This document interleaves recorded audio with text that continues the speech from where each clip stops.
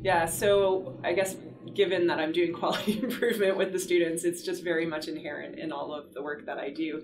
So I get feedback from the students every week. I ask them, how are things going? You know, is there anything we need to cover? Uh, I actually sometimes change course content for the following week based on what's happened in the class.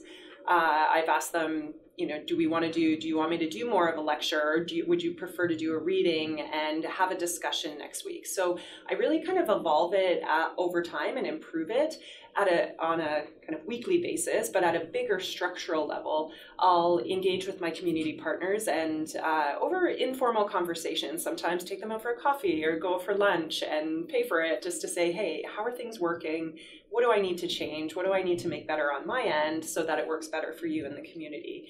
And I think those real kind of informal relationship building pieces give me that feedback of how do I need to, how I need to and should improve the course here.